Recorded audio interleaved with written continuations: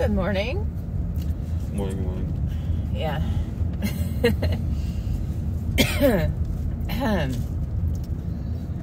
I will say the air quality has definitely affected uh, me a little bit. and um, yeah, it's not cool. It's not as bad today from what I can see. And there's no alert on my phone. So hopefully that's, you know, not going to be an issue today. But we are on our way to the final day of vocal boot camp. And I am excited.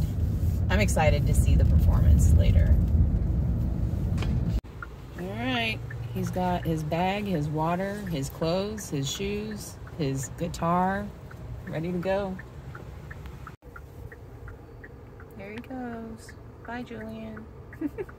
All right, we are warming up slash cooling down the van mhm, for our departure. And smoky.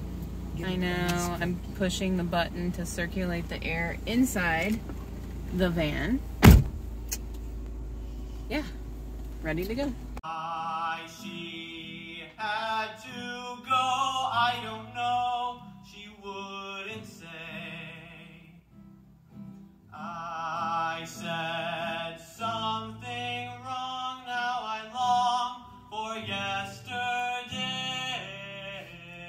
Myself going shelf by shelf, and I know every item in the store.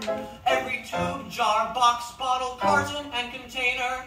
Where they are, what they cost, what they're for. Check, try me. You need a man who knows the business inside out, Mr. Maraczek. Try me. Or I have never spoken.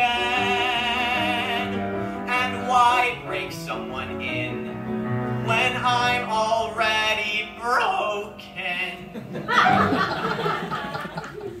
In this emergency, I wouldn't let you down, Mr. Maraczek. Try me.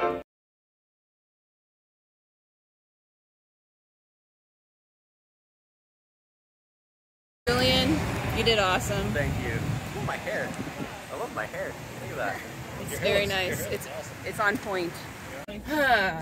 so we got to our car. We started driving down the street. I was like, "Oh, I paid too much for parking because it was I was in the dark during the concert and was like, "Oh, I have to add more parking."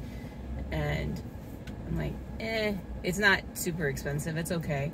We start driving and Gabriel's like, "I left my water bottle in the building." So, it's a good thing that I added parking because now we're sitting in the van parked in the same parking spot because nobody had taken it yet. How lucky is that? I can't believe it. Like, we've been gone for like 10 there. minutes and we came back. I am very tired and I don't have to wake up in the morning early and drive into the city. So I am going to go to bed and just sleep for a while.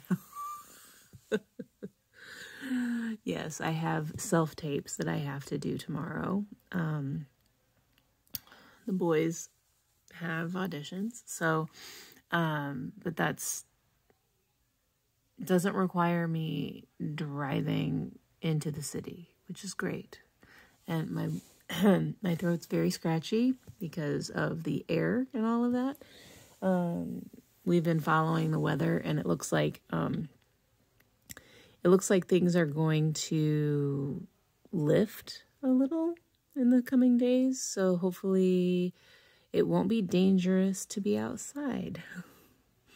So, this is my final clip. So, until tomorrow.